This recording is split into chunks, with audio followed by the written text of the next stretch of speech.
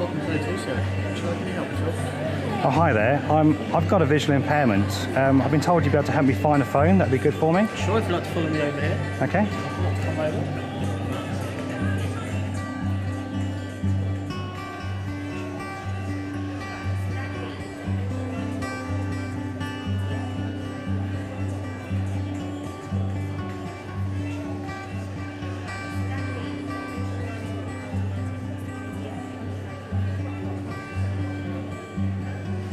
So, what, what, what brand of phone would you recommend?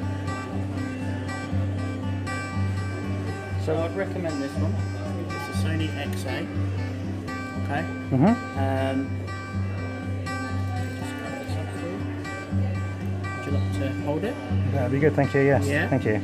Oh, it still feels nice. Yeah. It's a good size. Button here if you want to touch that one. Yeah. It's more of a softish type button to switch the phone on and off. That one, yeah. Yeah.